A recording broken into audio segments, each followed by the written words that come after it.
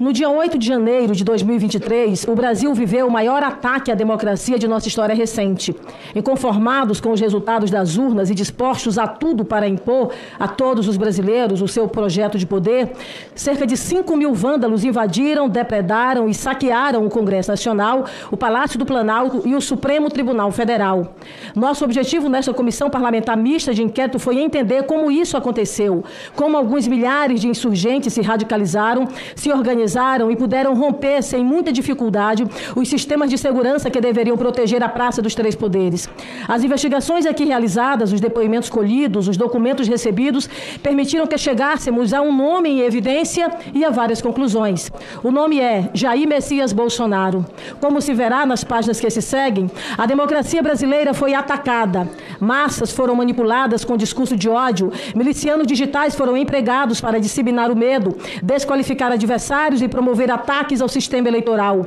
Forças de segurança foram cooptadas, tentou-se corromper, obstruir e anular as eleições. Um golpe de Estado foi ensaiado. E, por fim, foram estimulados atos e movimentos desesperados de tomada de poder. O 8 de janeiro é obra do que chamamos de bolsonarismo. Diferentemente do que defendem os bolsonaristas, o 8 de janeiro não foi um movimento espontâneo ou desorganizado. Foi uma mobilização idealizada, planejada e preparada com antecedência. Os executores foram foram insuflados e arregimentados por instigadores que definiram de forma coordenada datas, percurso e estratégia de enfrentamento e ocupação dos espaços. Caravanas foram organizadas de forma estruturada e articulada. Extremistas radicais tiveram as passagens pagas e a estada em Brasília subsidiada. Houve método na invasão. Os edifícios sede dos três poderes foram tomados quase simultaneamente a intervalos muito curtos de tempo. Quando os insurgentes subiram a rampa do Planalto, Manifestantes ainda não haviam tomado o Salão Verde do Congresso. Quando os vândalos entraram no Supremo, a destruição mal havia começado nos outros prédios. Autoridades que poderiam evitar a depredação protegeram intencionalmente os manifestantes, omitiram-se de forma deliberada e premeditada, ou atuaram comissivamente para a consumação das invasões e também depredações. O 8 de janeiro também não foi um movimento ordeiro e pacífico, que degenerou em violência, o tom virulento das convocações, a proibição da participação de crianças e idosos, os planos de sabotagem da infraestrutura e as técnicas utilizadas e o material encontrado com os manifestantes provam que a depredação não foi um acidente de percurso, mas o próprio objeto da mobilização. A proposta não era apenas ocupar, mas depredar. O primeiro a ser indiciado, Jair Messias Bolsonaro.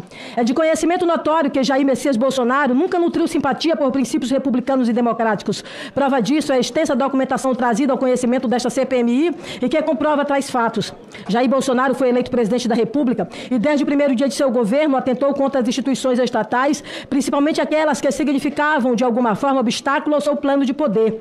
Em virtude já bradava contra as instituições mesmo no século passado, defendendo em vários momentos ações da ditadura militar. Para atingir seu intento, o então presidente da República instrumentalizou não somente órgãos, instituições e agentes públicos, mas também explorou a vulnerabilidade e a esperança de milhares de pessoas. Jair Bolsonaro nunca foi um conservador no sentido tradicional do termo nunca tendo defendido a manutenção das instituições, a prudência que deveria nortear a conduta verdadeiramente conservadora, nunca havia acompanhado sua figura e dela se manteve distante quando ocupou a relevantíssima função de presidente da República. Visto como figura mítica por seus apoiadores, Jair Bolsonaro se utilizou como pôde do aparato estatal para atingir o seu objetivo maior, cupinizar as instituições republicanas brasileiras até o seu total esfacelamento, de modo a se manter no poder de forma perene e autoritária.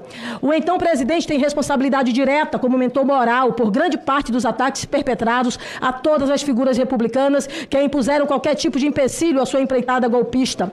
Agentes públicos, jornalistas, empresários, militares, membros dos poderes, todos sofreram ataques incessantes por parte de Jair Bolsonaro e de seus apoiadores, muitos deles ocupantes de cargos públicos que se utilizavam da máquina estatal para coagir e agredir pessoas. Na CPI da pandemia realizada no âmbito do Senado Federal, ficou evidente a utilização do denominado gabinete do ódio para produzir produzir e disseminar notícias falsas, bem como para realizar ataques em massa a adversários políticos utilizando-se de bots. Aquela altura, tal estrutura foi responsável pela morte de milhares de brasileiros. Ademais, o então presidente alimentou a violência entre a população brasileira durante vários eventos no período pré-eleitoral de 2022. Nos discursos dizia que o Brasil estaria atravessando uma batalha, estando de um lado seus apoiadores e do outro aqueles um que, um que discordasse minimamente de suas e de outro qualquer um que discordasse minimamente das ideias bolsonaristas. Obrigada, querida. Bolsonaro também descredibilizou por diversas vezes o processo eleitoral ao longo de sua carreira política, proferindo inclusive discursos como: através do voto você não vai mudar nada neste país, nada, absolutamente nada. Você só vai mudar, infelizmente, quando nós partirmos para uma guerra civil aqui dentro, fazendo um trabalho que o regime militar não fez, matando 30 mil e começando por FHC. E se for morrer alguns inocentes, tudo bem.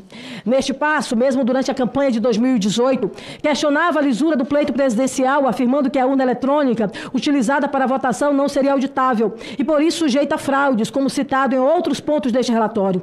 Bolsonaro fez inúmeras lives durante o exercício do mandato de presidente, questionando o sistema eletrônico de votação, ocasiões em que sequer apresentava fundamento técnico ou fático concreto. Em uma das lives, Bolsonaro vazou o teor de um processo sigiloso em que apurava a invasão dos sistemas do TSE. Lembre-se que, de acordo acordo com o que foi Apurado por esta comissão, no dia 10 de agosto de 2022, o hacker Walter Delgatti se reuniu com Jair Bolsonaro em reunião intermediada pela deputada federal Carla Zambelli. O objetivo era tramar conspirações relativas a uma suposta fraude das urnas eletrônicas. Uma delas seria a produção de um código-fonte adulterado que pudesse ser utilizado em uma urna específica para uso em propaganda eleitoral. Em depoimento a esta comissão, o hacker também afirmou que teria recebido a proposta do ex-presidente para assumir a autoria de um grampo do ministro do STF, Alexandre de Moraes. Referido hacker se encontrou encontrou no Palácio da Alvorada com o então presidente da República, momento no qual foi recebido a missão perdão, momento no qual teria recebido a missão de contribuir com informações para relatório que estava sendo construído pelas Forças Armadas, cujo ponto central era evidenciar a suposta vulnerabilidade do processo eleitoral. Referido relatório foi efetivamente construído e enviado ao TSE. Chegou-se ao ponto de que o presidente da República realizou uma reunião com os embaixadores eh, estrangeiros no Brasil, denominada briefing, em que expunha a esdrúxula ideia de que o pleito presidencial de 2018 teria sido fraudado, alegando que teria provas disso, as quais nunca foram exibidas. Depois das eleições de 2022, ainda durante o mandato, Bolsonaro se reuniu por diversas vezes com os comandantes das Forças Armadas fora da agenda presidencial oficial, com fins pouco republicanos, segundo que apurou a comissão. Também neste período iniciaram-se os acampamentos de teor golpista em frente às instituições militares por todo o Brasil. Um dos acampamentos foi instalado em frente ao quartel-general do Exército, adjacente à quadra residencial de general do setor militar urbano em Brasília. Desde, desde o início, os acampamentos apresentavam cartazes e faixas de natureza anti antidemocrática, clamando por intervenção militar com Bolsonaro no poder. Dentre outras mensagens, conforme apresentado ao longo deste trabalho, nunca houve qualquer discurso ou pedido de Jair Bolsonaro para que os acampamentos fossem desmobilizados. Na prática, houve verdadeiro silêncio eloquente do então ocupante do posto de presidente da República, incentivando os acampados a permanecerem nos locais. Na esteira da instrumentalização do aparato estatal para a permanência do poder, há fartos indícios de que Bolsonaro se utilizou da Polícia Rodoviária Federal por meio do então diretor-geral Silvinei Vasques para monitorar os locais, especialmente na região Nordeste, onde o candidato Luiz Inácio Lula da Silva, no primeiro turno do pleito de 2022, teria tido maior votação. No segundo turno da votação, em verdadeira forma de violência política, foram realizados diversos bloqueios e fiscalizações, blitz, que interferiram no deslocamento de eleitores naquela região. Tudo com o intuito de reduzir o número de votos do então candidato Lula, tentando ganhar o jogo, escondendo as peças do seu adversário por fim noticiado pela imprensa, que Felipe Martins, então assessor internacional da presidência da República, um dos maiores seguidores das ideias de Olavo de Carvalho, entregou em mãos a Jair Bolsonaro uma minuta de golpe, fato que teria sido presenciado por Mauro Cid, então ajudante de ordens de todas as ordens de Bolsonaro. Esses achados foram obtidos por meio de acordo de colaboração premiada de Mauro César Barbosa Cid. Os fatos aqui relatados demonstram exaustivamente que Jair Messias Bolsonaro, então ocupante do cargo de presidente da República, foi autor, seja intelectual, seja moral, dos ataques perpetrados contra as instituições que culminou no dia 8 de janeiro de 2022. Por esse motivo, Jair Messias Bolsonaro deve ser responsabilizado pelos tipos penais descritos nos artigos 288, CAPT, Associação Criminosa, 359, Violência Política, 359L, Abolição Violenta do Estado Democrático de Direito e 359M, Golpe de Estado, todos do Código Penal por condutas dolosas.